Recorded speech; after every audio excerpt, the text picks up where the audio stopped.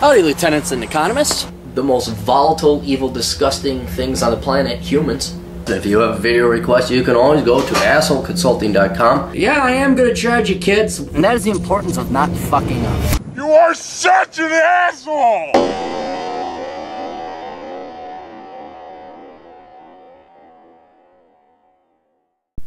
assholeconsulting.com. Send your questions, your money, and any daughters of yours under 18 and under 130 pounds, but above 5.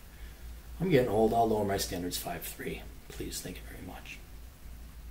Hey, asshole. I'll be entering my freshman year at the local branch at the University of Connect I Cut this fall. I'm currently stuck between two majors, computer science and accounting. I really like and enjoy both areas of that study, but I don't know which one is better. I would like to do both, but they're very different, and doing both would kill me. Someone told me I should get my bachelor's in computer science and then get an MBA in accounting. Someone else told me I should major one and minor in the other. What do you think I should do? Your advice would be appreciated. I would also like a video response. Thank you, Alejandro. Well, thank you, Alejandro. Yeah, this is your friends are giving you good advice there.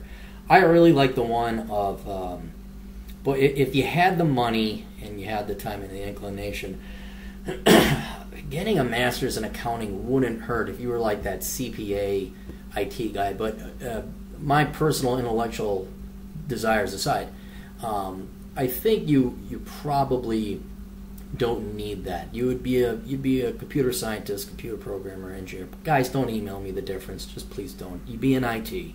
That would be your field.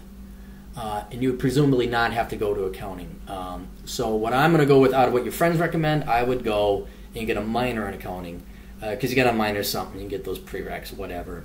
And the reason I say that is because the between the two, computer science is better. It's more interesting. I'd say it's more intellectually engaging, and it, because accounting really just is recording things and following rules.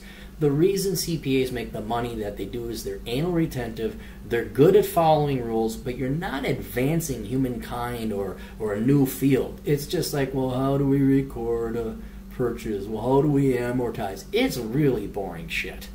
Um, so it, it's not not a you know some people are good at that. Some people like that uh, methodical uh, detailed work.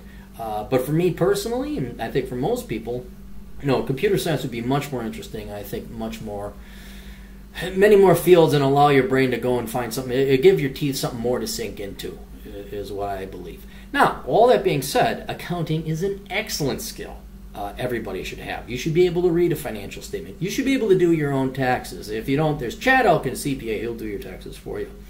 Um, you should be able to be uh, interpret a tax return. Not to say you can interpret Donald Trump's tax return, but you should be able to understand what you know. If you look at a tax return, what's going on there. Uh, you should also be able to do some bookkeeping, uh, debits and credits and entries. Uh, that would, if you ever want to become an entrepreneur, really help you understand whether or not you're making money. So, if you had a desire to get in management, let, us say you really like IT, but you think in the end you'd like to get into management. Okay, cool. What I'd say for now, go into computer science, minor in accounting. That will not hurt. You will use that skill uh, down the road. But go work in computer science. Go work in IT. And then, if you're still sure that you want to go into management in an IT environment, then yeah, masters in accounting would not be the worst. Um, if you could get an MBA with a concentration in accounting, whatever, then your employers are going to look and say, "Oh, oh he's got a suit. Oh, he's got an MBA." And you know, idiots today still think the MBA is a sign of success or achievement. Yours actually would be because it would it would be in one of the two fields that actually are somewhat reputable in the business majors.